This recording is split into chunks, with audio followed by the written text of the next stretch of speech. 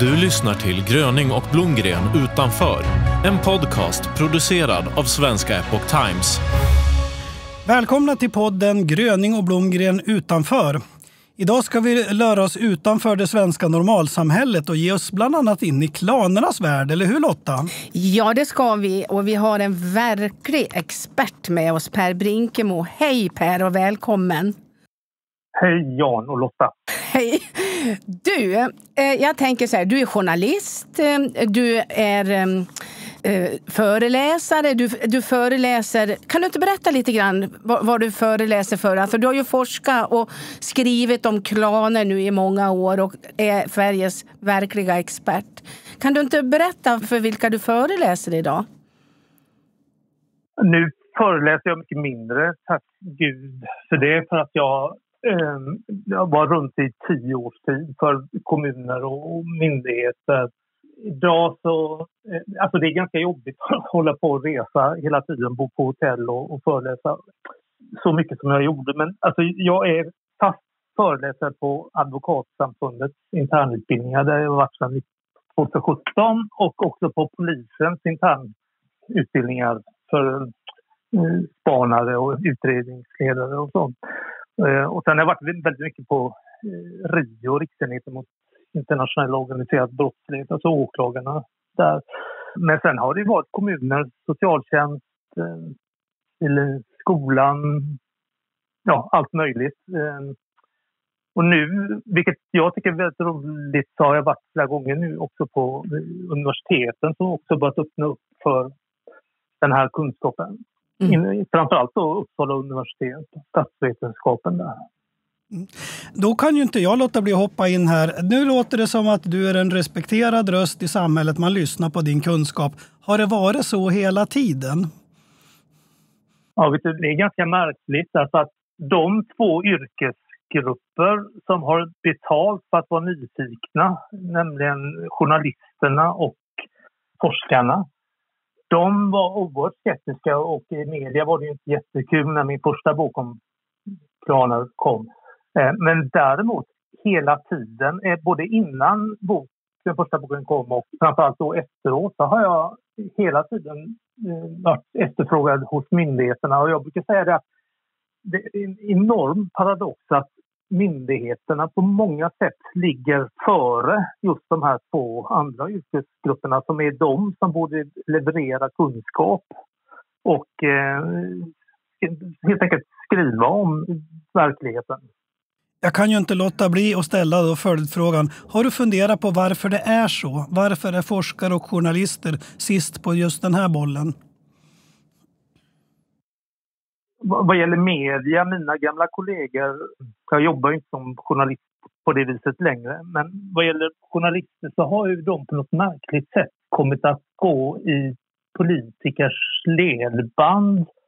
Och det var först när Mats Löfving gick ut och pratade om kriminella klaner som det blev legitimt att skriva om det. Och då var det en hög statstjänsteman från polisen som berättade om att vi har kriminella klaner. Jag hade från början mest skrivit om det som en organisationsform som väldigt många asylsökande kommer ifrån och att eh, vi måste försöka hitta andra vägar för dem att förstå vad ett statssamhälle med så hög tillit, vad det innebär. Alltså, vad ett, syftet var egentligen att försöka förbättra integrationen och det var känsligt till och med. Eh, men sen är ju den organisationsformen den är liksom skapt för att härbärgera kriminalitet.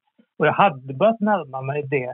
Men när eh, Mats Löfving då gick ut, då satt jag i fem veckor i dagliga intervjuer med både, framförallt och svensk media, alla tidningar, DN, Svenskan, Expressen, Aftonbladet och så vidare. Men också internationell press. Jag hade en japansk journalist här hemma, bland annat vad gäller akademin så tror jag att Bo Rothstein har rätt. Både han, Peter Sayasson, Karina Gunnarsson och Sten Widmalm har ju kritiserat på senare år nu akademin för att inte leverera kunskap som är relevant för alla de som jobbar i kommunerna längst ut i frontlinjen i mötet med människor från alla möjliga typer av länder.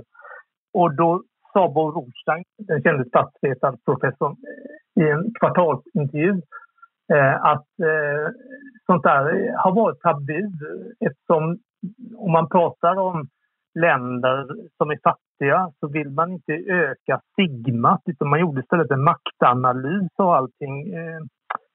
Så det har präglat analysen väldigt mycket. En mycket relevant analysmodell men den får inte bli den enda, då missar man ju de här kulturella aspekterna. Och klanstrukturer är otroligt vanliga i Mellanöstern, Somalia, Afghanistan, alla de länder varifrån människor kommer. Men det har man missat, men jag tror att det är på väg att ändras nu.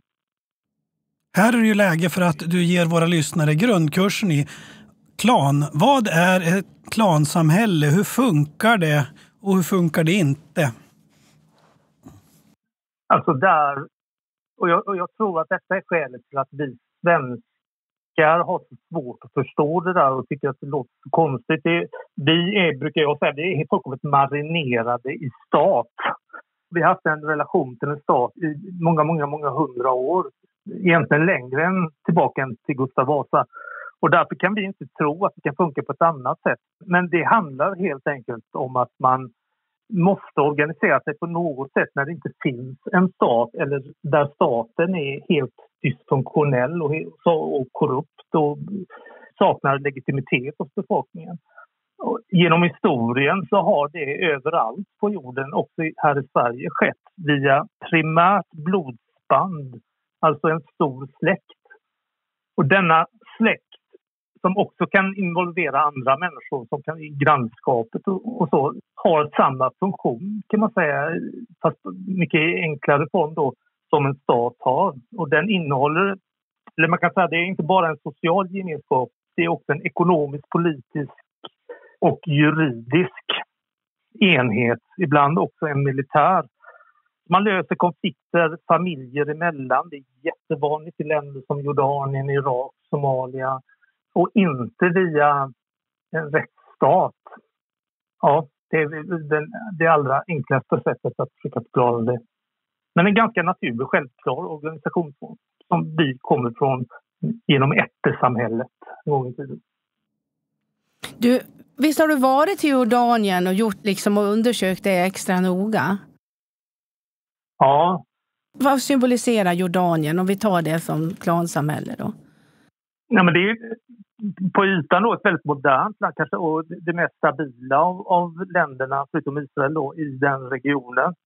Men det bygger ju ändå på klan så man har då eh, tre eller multipla juridiska system. Man har statliga lagar och domstolar och poliser och man har sharia och man har då klanjustis och när man gör undersökningar i Eh, forskare har tittat på det här, vilka system som används så trumfar planjustisen de andra systemen.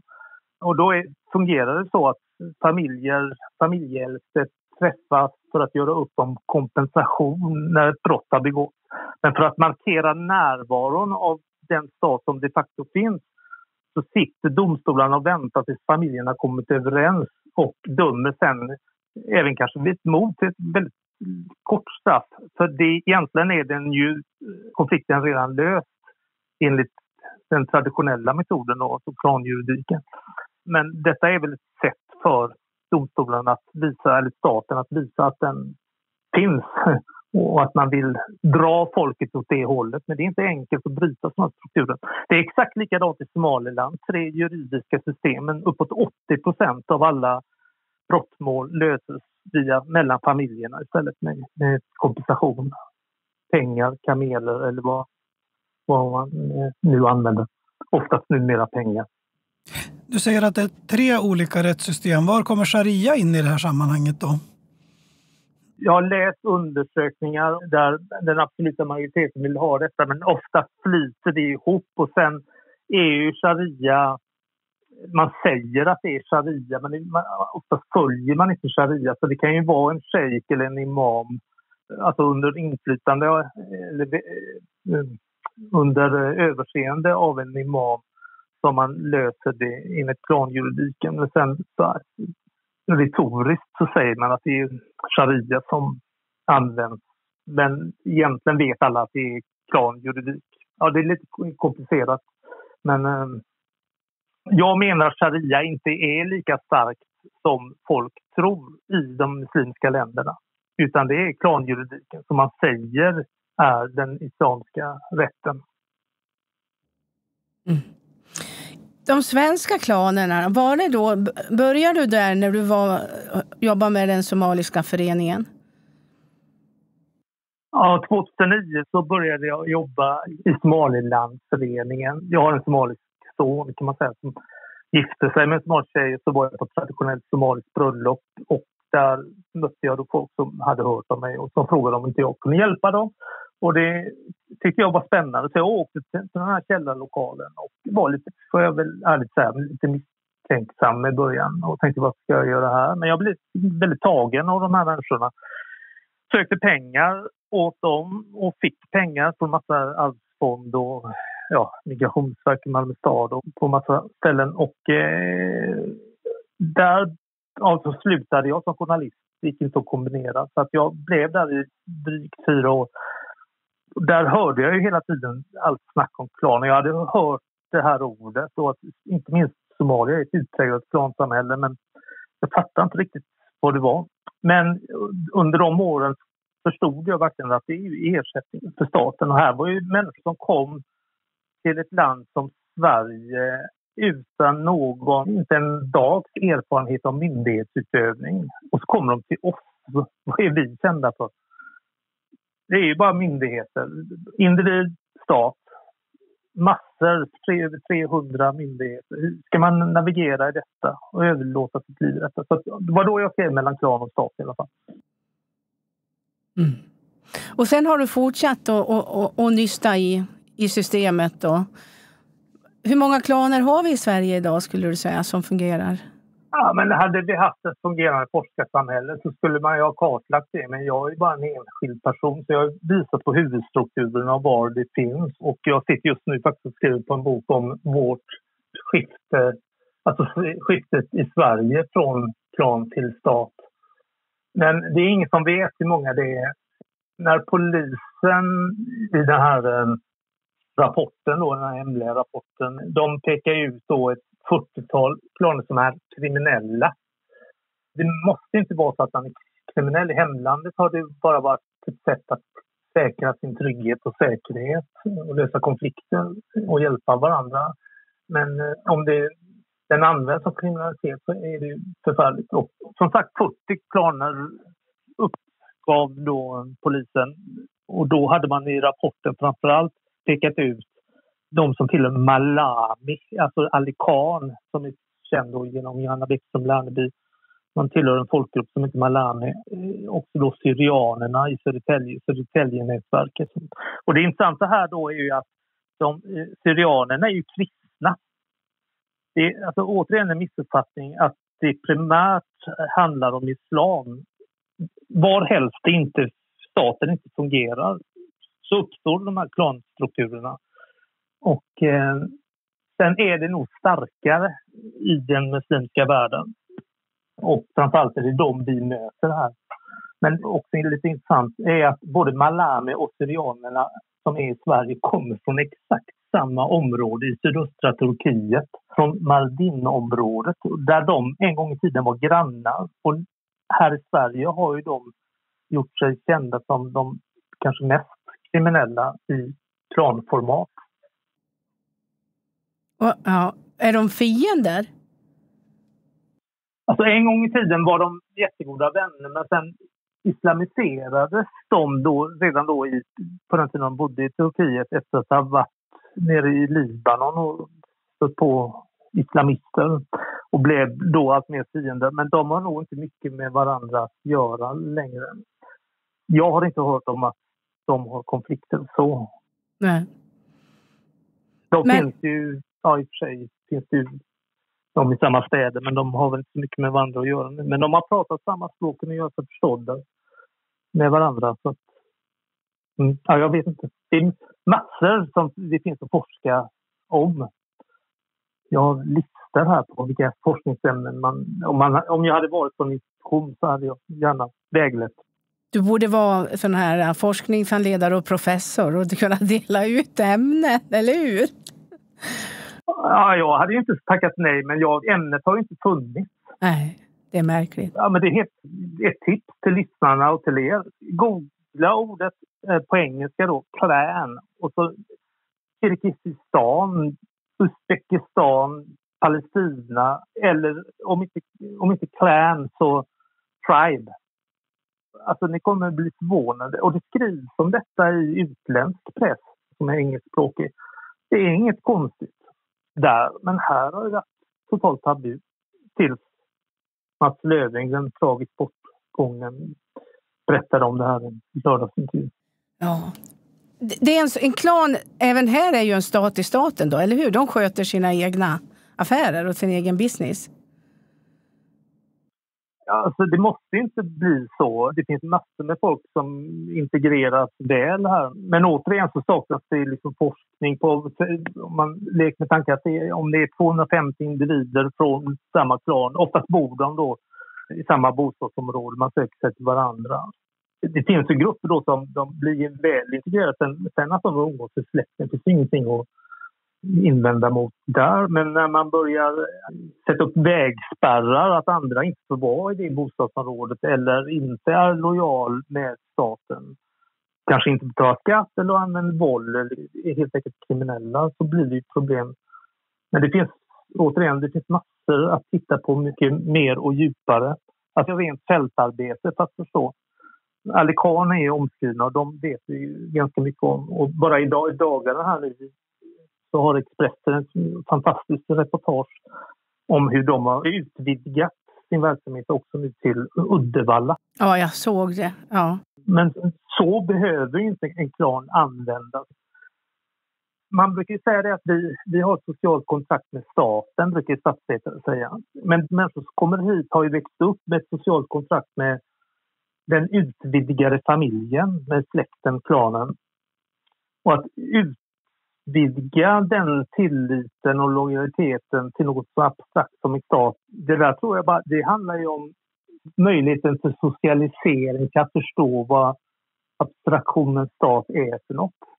Och det krävs ju att man då umgås med svenskar, att man verkligen kommer in och förstår det svenska språket, den historiska utvecklingen och varför vi har till exempel en lag som heter socialtjänstlagen som folk ja, ni vet ju själva det här socialtjänstupproret.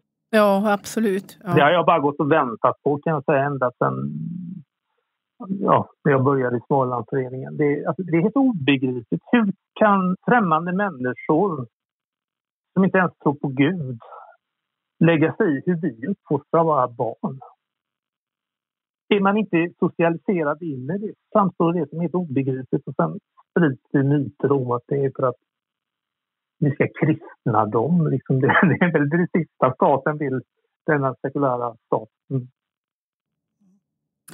Nu ska jag prova att vara lite lagom provokativ här så får du respondera på det. Jag hörde en intervju med Hanif Bali som konstaterade att eh, man lyckades bryta klanernas makt i Europa via att framförallt då katolska kyrkan förbjöd nära giften i familjen. Först kusingiften och sen var det tremänningar och så småningom var det väl sex, sju led bort sådär som man förbjöd giften för att helt enkelt ersätta klanernas inflytande med, med att eh, kyrkan tog över den rollen och att detta också lyckades. Och det har lett till att han då propagerar för att vi ska förbjuda kusinäktenskap i Sverige för att kunna minska klanernas möjlighet att hålla ihop på sikt. Nu kan du få respondera på det. Är, är det här vettigt eller fullkomligt krontokigt? Nej, det är jättevettigt. Det är jättevettigt och allt mer forskning visar katolska kyrkan, den västliga romerska katolska kyrkan har haft ett enormt inflytande i, för demokratiutvecklingen. Inte för att de såg slutfacit, att det kommer att leda till demokrati utan av någon anledning så bestämde man sig för att just förbjuda alla eh, former av äktenskap. Det var till och med uppe till 11 led tror jag ett tag. Men det var svårt för folk att hålla koll så många generationer bak i tiden. Så det landar väl vid sex. Man fick inte vara släkt eller dela anfader sex generationer bak i tiden. Och eh, dessutom förbjöd man månggifte och man förbjöd... Alltså det är, ännu idag runt om i världen så är det väldigt vanligt i den här typen av samhällen att om en man dör så måste hans bror gifta sig med änkan. I Afghanistan till exempel är det så. Somalia och massa andra länder. Och det förbjöd man också. Leveratäktenskap kallas det för. Och varför det har funnits är för att hålla ihop egendomen då, liksom hålla ihop klanen. Så eh, det vore ett väldigt bra, han har helt rätt, Hans Ball, att kusinäktenskap eh, vore till gagn för lojaliteten med staten. Det kommer ta många, många generationer, men någonstans måste man börja. Och dessutom skulle man kunna undanröja den oerhört höga risken för genetiska skador om en kille gifter sig med sin pappas brors dotter. Det blir inte bra genetiskt. Det där har jag sett på ganska nära håll. Jag försökte hjälpa en kurdisk flicka för några år sedan som hade bott här i Sverige under en viss tid och fått smak på det svenska sättet att leva och den frihet som fanns här. Eh, och sen blev rövad tillbaka till kurdiska Irak. Jag försökte hjälpa henne då att eh, komma tillbaka till Sverige och att bryta sig loss. Men de här strukturerna i klanen, det förstod inte jag då. Det har jag förstått senare. De är så starka så att det räckte inte med att hon ville ta sig därifrån för det skulle ju drabba hennes syster och småsyskon och mamma och allt möjligt annat. Det, är liksom det, det var ett system som involverade så många att det är väldigt svårt för en individ att ta sig ur det hela. Ja. Ja, det är oerhört svårt eftersom en individ handlande spiller över på hela gruppen. Så individens fri och rättigheter och skyldigheter finns inte i den formen av strukturer. Det är därför man pratar om hederskultur. För oss låter det ju helt kokobäng helt enkelt. Att om jag gör någonting så skulle min kusin i Dalarna och massa andra människor bli inblandade i det och de får gå där och skämmas över att jag har gjort något dumt. Man hänger ihop på ett helt annat sätt än vad vi gör. Vi har bara relationer egentligen till staten och väldigt lösa band till våra släktingar. Vi är vare sig juridiskt eller ekonomiskt bundna till dem. Jag pratar ofta med min gode vän Hamid Safar som jag förresten tycker att ni borde intervjua också. Han är oerhört kunnig kring sånt här. Han är från Afghanistan. Så här, det är ju helt otroligt att man tar emot så mycket människor från hela världen. Visserligen gott syfte, men utan att ens veta någonting om vilka det är som kommer och var de kommer ifrån. Som till exempel eritreaner som är amok på Järvafälten. Det är ingen som vet någonting. Jaha, kommer de från det? Har de med sig konflikten? Det är klart man har med sig konflikten. Bara för att vidga perspektiven Nu slog du an en väldigt bra sträng här, för när vi spelar in det här så är det precis dagarna efter upploppen på Järvafältet. Vad har vi i medierapporteringen minskat när det gäller eh, de smärre inbördeskrigen som har utspelat sig där? Har vi förstått varför det där kriget pågår? Hade det här varit något man hade kunnat förutse? Varför kunde detta hända och så? Ja, men det, det, här är ytterligare ett exempel på en eh, dysfunktionell mediakår och en dysfunktionell eh, akademi som inte tillräckligt mycket har skrivit. Det här har puttrat under ytan länge men det har liksom inte blivit någonting. Och jag menar ju att om man tar emot människor från andra länder så måste man göra en konsekvensanalys helt enkelt. Var kommer de från? Finns det någon risk för att det kan bli antingen klanstridigheter, politiska fighter, religiösa? Kunna någonting om världen och på det viset ha en beredskap och också att det rapporteras om det som då anses vara känsligt som inte är känsligt. Det är bara som det är verkligheten har ju blivit eh, kontroversiell. Det är helt otroligt.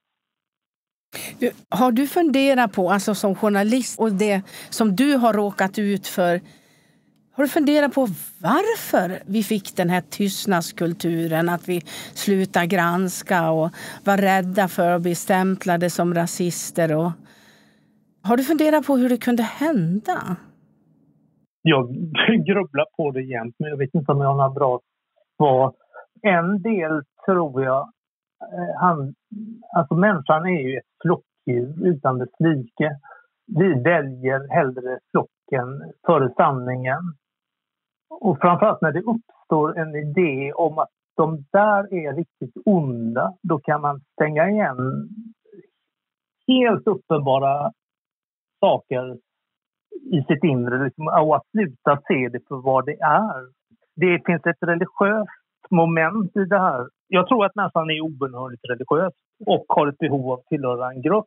Vi tror att vi är så upplysta men vi är ju biologiskt inte annorlunda än när vi gick på steppen. Men vi har en, annan teknik och medicin och möjlighet, alltså ett modernt liv till det yttre men vi agerar så oerhört primitivt. Och på något sätt så uppstod det någon slags egoni kring hur invandrare är, de är en svag grupp. Och som journalist, det vet ju du Lotta, så fick man ju lära sig att man ska vara den lille mannen på gatans röst. Och här var det ju massa små män, den lille mannen, som kom från oftast fattigdom och krig och då får inte skriva något elakt. Och alla tidigare icke tänkta tankar upplevs ju så oerhört farliga till en början. Men så när man väl börjar bena, ja det var väl så farligt. Ja, det, det, det, det är klart de kommer från klansamhället. klansamhälle. Det finns väl inget kontroversiellt i det.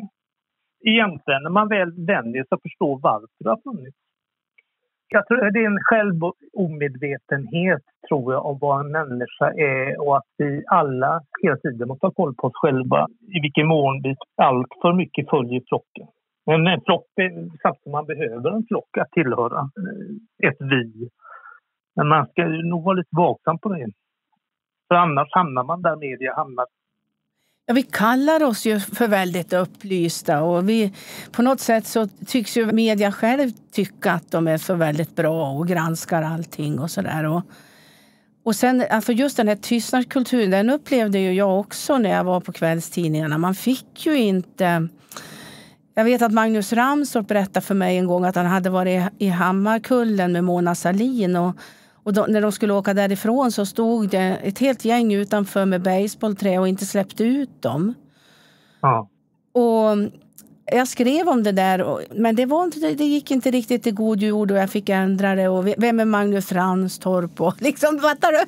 Det var liksom ja. rasiststämpeln på något sätt. Att man, och just det där om det var kriminellt, då var det ju nästan ännu värre. Nej, det, det fick man inte ja, säga. Men det har ju varit hur mycket som helst. Sånt där. Alltså under den här värsta perioden var det, jag ska väl inte i det här sammanhanget säga vilka namn, men väldigt tunga journalister som ringde till mig. För att de visste att jag hade jobbat med somalier, alltså med i Rosengård och Ehm, också hade en erfarenhet av både Uppdrag granskning och Kalla fakta och ja, tidningsvärlden. Och så tycker du det känns tufft det här med åldersbestämning på ensamkommande? Liksom, alltså våra kollegor är helt... Eh, eller något annat, eller om islamism eller... Det är väl inte rasism? Det är ju verklighet. Det är klart vi ska göra det. Det är ju helt otroligt. Och så slår vi oss för bröstet att vi är så upplysta. Och upplysningen, ja bla bla bla. Låt mig prova ett annat spår som inte står i motsättning till det hela utan kanske också korsbefruktade. Jag tycker mig uppleva ett visst mått av hybris i det svenska samhället. Mindre idag än för kanske tio år sedan. Men att man haft en bild av sig själva att vi är liksom historiens slut. Egentligen strävar hela världen efter att bli som vi, sekulära och frigjorda och upplysta. och och egentligen vill alla bli som vi, vilket betyder att om vi öppnar portar och släpper in människor från andra delar av världen, vi behöver inte ens tala om för dem vad som gäller här, utan de kommer raskt att bli svenskar, hela bunten, i sitt sätt att tänka och vara.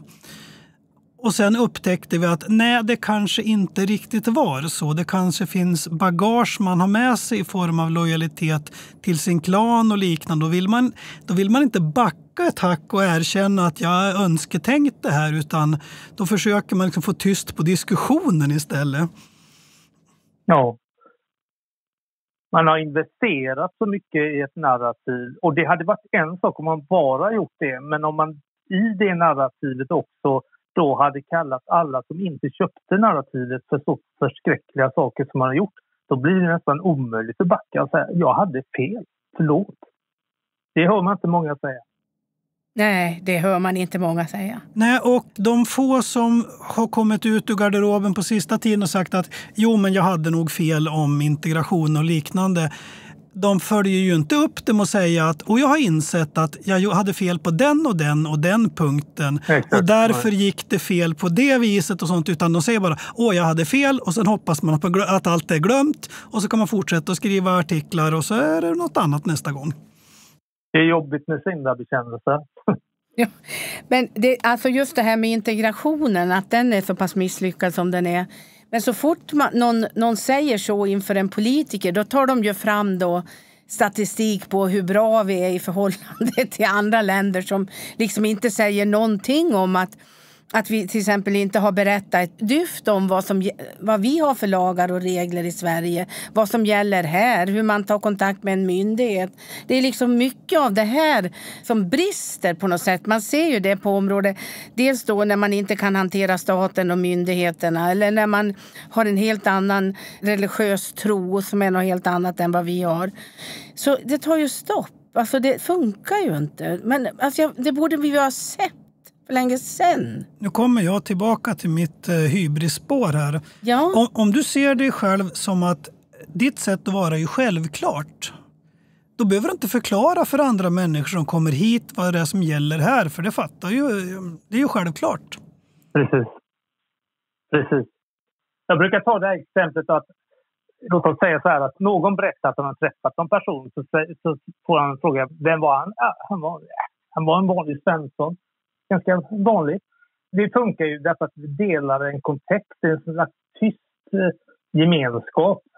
Men om någon reser till Nepal och berättar om ett möte där med en eh, infödd och så säger han, vem var han då? Nej, han var helt vanlig, en helt vanlig nepales. Då blir det helt bisarrt. På en vanlig nepales, Jag har inte en aning. Och det visar ju på det du säger, Jan, att, att vi, det är så mycket som går utöver lagstiftning som helt enkelt handlar om normer. Så här gör man bara, som vi tar för givet. Eftersom vi har varit ett så extremt homogent folk under århundraden så, så har vi inte behövt se oss själva utifrån. Så vi har bara trott att ja, men vi är helt normala. Det är klart att folk bara kommer att anamma det här. Ja, det är väl därför det uppstår nu massa funderingar kring vad är en nationalstat och välfärdsstat, vad är svensk kultur? Det fanns ju tidigare inte. var det något jag hörde när jag jobbade i Rosengård så var det så här, ni har så konstig kultur Berätta för oss, varför gör ni så här? Och då plötsligt började jag titta på Sverige med migrantens ögon och tänka att herregud, det där är inte självklart. Det är inte skrivet eller hugget i sten eller från himlen nedfallet. Utan det där är en social konvention. Nej, nej, vi bara gör så här. Ja, nu tänker jag berätta en liten rolig historia här om kulturkrockar tagen från mm. min bransch. Vi hade ju en historia här med att eh, ett franskt företag byggde ett kärnkraftverk i Finland som blev försenat med väldigt många år och det var fördyrat och komplicerat. Då ska man ha klart för sig att när det här projektet startade, det stora franska företaget hade då en kvinnlig vd, Atomic Anne, Lauvergnon, riktigt krutfruntimmer, en av mina idoler. Nåväl, tänk er situationen när hon skulle komma till Finland det första man ska göra när man kommer till Finland och ska bygga en affärsrelation är att man ska ta av sig alla kläder på kroppen och klä av sig naken. Sen ska man gå in i en liten stuga som är 100 grader varm Sen ska man piska varandra med, med björkkvistar. Och sen ska man springa ut genom dörren till ett uppsågat hål i isen och hoppa i det. Och när man sen kommer upp så ska man dricka stora mängder pilleknakare och inte säga ett enda ljud. Hur kompatibelt är det med finsk och fransk kultur? Den här brukar jag plocka fram när, när, när vi hade ju en ledande svensk politiker som sa att jag är avundsjuk på alla er invandrare. Ni har ju en kultur, vi svenskar har ju ingen. Ja, ja den, den är ju väldigt talande. Äh, jag, jag, det finns ingenting som intresserar mig mer. Och jag tycker alla mina texter går ut på att sätta ord på det självklara som är svensk kultur men som inte ser för att det är så självklart. Men då kan vi ju inte låta bli att, nu får du dela med dig. Vad har du upptäckt som är svensk kultur som vi inte ens ser själva? Nej, men det finns en sociolog, eh, Seymour Martin Lipton, som sagt fritt översatt att ungefär att eh, ingen människa vet något om ett land om den också inte djupt känner ett annat. Alltså det är brytningen med det annorlunda man får syn på det egna. Och det är ju nu när vi ser massa beteenden sju killar eh, kommer i, i, i bredd liksom trottoaren. Det finns ingen lag att, mot att man får göra så och med dominansbeteende då. Ofta killar med rötterna någon annanstans. Det finns ingen lag mot klanrustning men det var normen, alltså att en präst eller pastor skulle stå i en kyrka eh, samma dag som det är val i Sverige. Och idag vill Herren att vi röstar på det eller det partiet. Det finns inget förbud mot detta. Men jäklar om någon hade gjort det. Det är ju skandal. Det var en norm. Nu kommer vi nog behöva hitta någon lag mot detta därför att nu har den typen av normer brutits. Ja, det finns en rad områden. Bara hela vår tillit till... Alltså, man ska arbeta och göra rätt för sig och inte ligga andra till last. Det är ju helt självklart ja, om man är uppväxt i det svenska en, en motsvarande eh, berättade Malin Pekul för mig. Eh, hon sa att motsvarande i Turkiet är att staten är en ocean med resurser. Den som inte utnyttjar det är en idiot. Det kan väl gälla här också, eller hur? Det kan gälla här. Beroende att... på vad man har för kultur.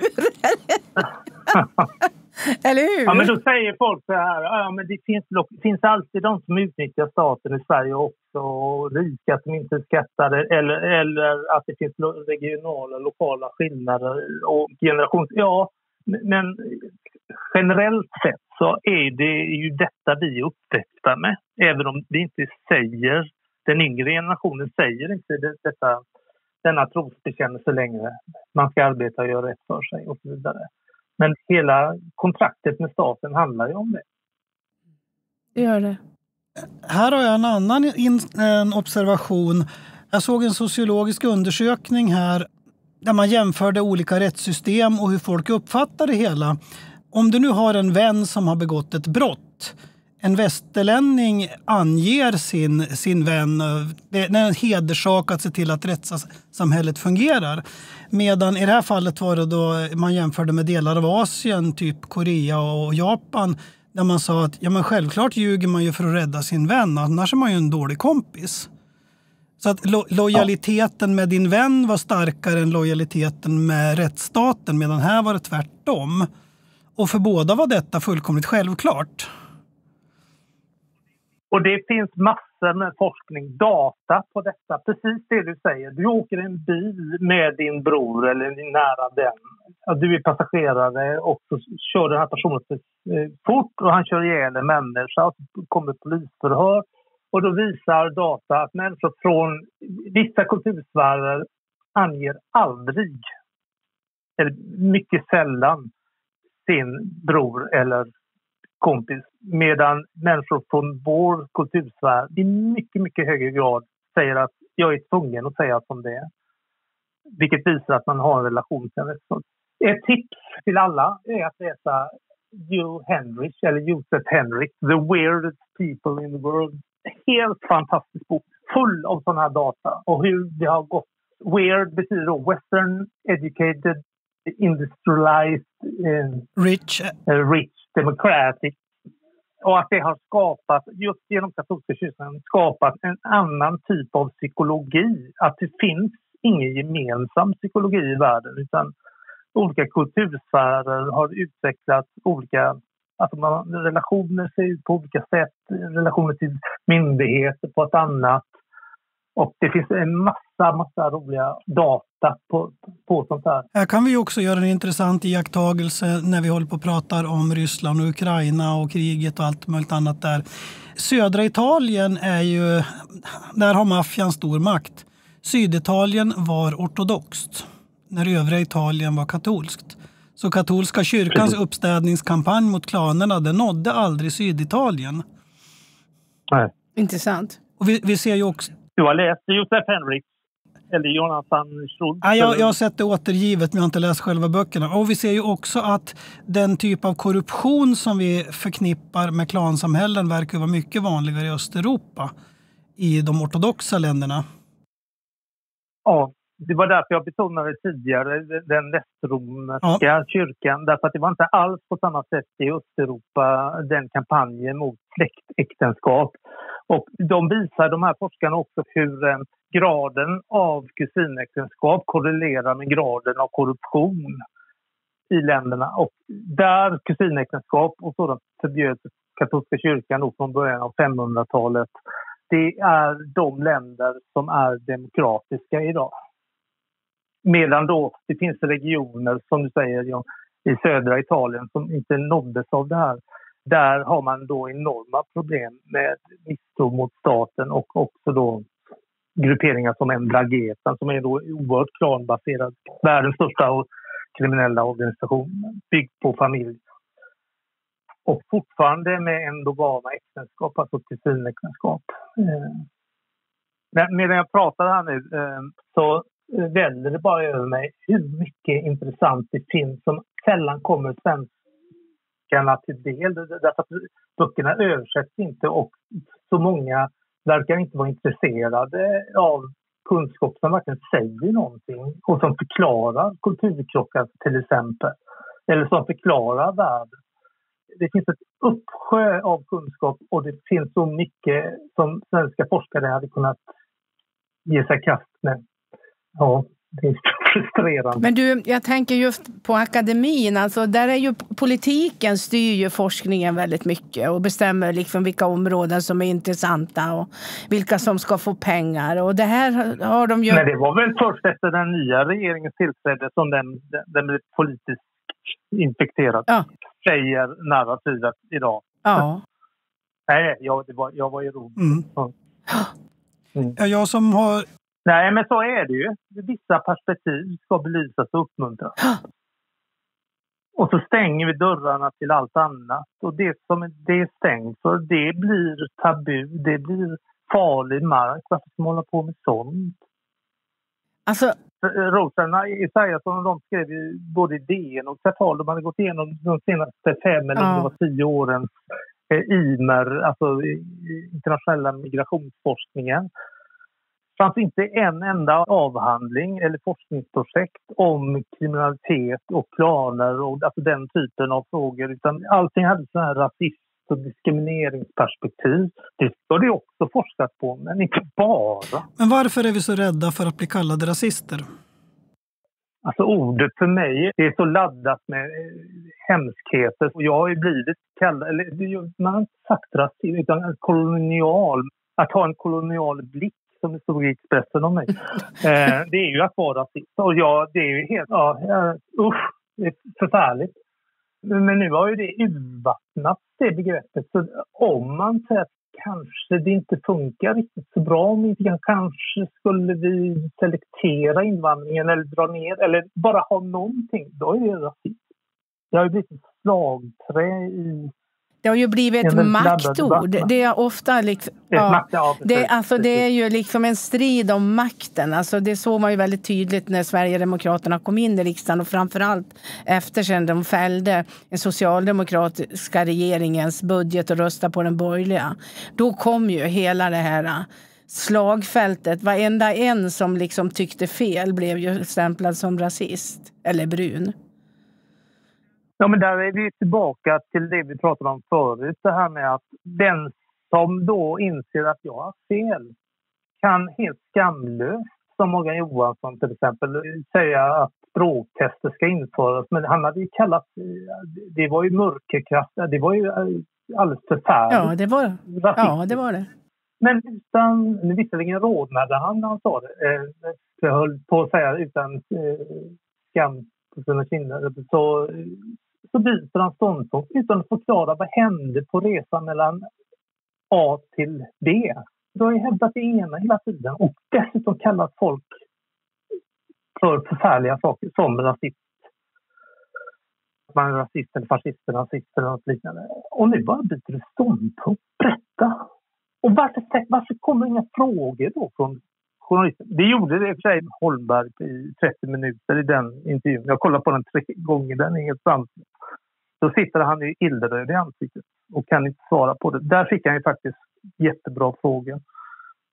Men det måste vi väl kunna avkräva att har man kallat folk förfärligheter och byter själv ståndpunkt så måste man veta vad fick det att göra detta och inte bara släppa det. Att ha fel är ju en sak. Det är jättebra om man kan ändra sig. Men man får ha banne med en skyldighet att be om ursäkt och också förklara skyttet. Det farliga i det här det är ju att det har blivit alldeles som ett, ett politiskt verktyg att hålla folk i schack och tystna. Och det är ju det här som är väldigt oroande för den svenska demokratin som inte heller väldigt många vill diskutera. Jag brukar tänka ibland när jag lyssnar på de här partipolitiska debatterna i riksdagen där de står då i, i riksdagens talarstolar och skriker rasister och fascister och allt möjligt åt varandra. Och så sitter det skolklasser på läktaren som i skolan får lära sig liksom demokrati, att inte mobba, att behandla varandra med respekt. Och Ja. jag blir nästan mörkrädd ibland. Jag, jag vet att det var en debatt nu före valet som jag kände att jag orkar nästan inte lyssna på den. Nej, samma här. Jag, jag mår så dåligt av det. Jag- Det är låg nivå helt enkelt. Jo, men det, det är lite totalitärt om jag får säga det faktiskt. Ja. Ja, vad, vad tänker ni då? Hur kunde det rätta uppstå? Hur kunde vi hamna, hamna här? Vad tänker ni? Alltså i detta att man kan stå och kalla varandra sånt här. Då, ja, jag ser ju väldigt många samhällsproblem som hänger samman med sekularisering. Att vi tror inte på högre värden. Eh, låt mig citera Einar Askestad. Mm. Om människan inte ser någonting ovanför sig, då finns det bara en riktning kvar och den går neråt. Har man inga högre värden kvar, ja, då finns det inte bromsar mot att börja på att använda det låga spektrum i tänkandet. Jag tror att det ligger väldigt mycket i det. Och dessutom, om man inte tror på, en, på förlåtelse, en förlåtande Gud, då blir det ju fruktansvärt farligt att erkänna sina misstag inför en lynchmobb. Alltså den där man tar på sig rätten att själv döma andra än att överlåta domen till något högre. Ska vi låta detta vara sista ordet? Det tycker jag. Ja, jag då kan bara säga att låt oss citera då den heliga skrift. Sanningen ska göra eder fria. Och Per, du har bjudit på mycket sanning i den här diskussionen och jag tror att det är nyckeln till att burka upp de här problemen. Vi måste lära oss att tala sant om problemen och inte låtsas att de inte finns. Det är jätteviktigt. Amen. Per, tack för att du var med. Tack själva. Ja, tack Per.